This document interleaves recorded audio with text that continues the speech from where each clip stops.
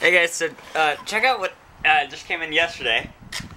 It's a 1976 uh, two horsepower Briggs and Stratton engine, and uh, this one's kind of interesting because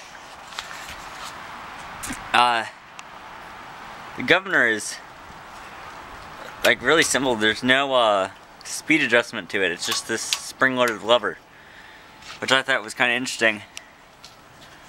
But I'm gonna start this one up and uh, all the information on it will be posted in the uh, description. So let's see if we can start it up. Out.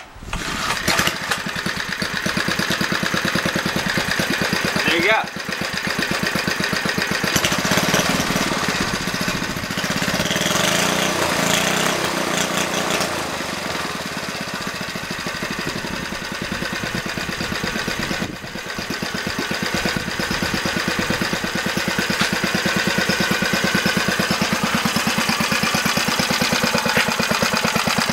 One of the screws came out from the head.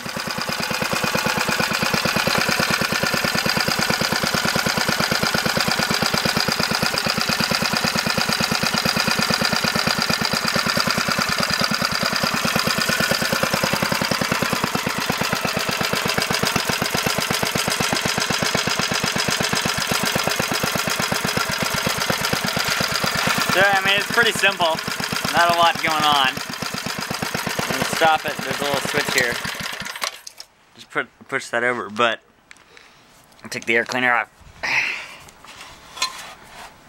The system on this thing is kind of interesting. It's uh, kind of got a.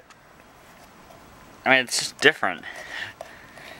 So I think the plan for this one is uh, I'm gonna do a, a propane conversion on it. So I'm gonna make set it up to run propane, and then uh, I'm gonna turn it into a little generator.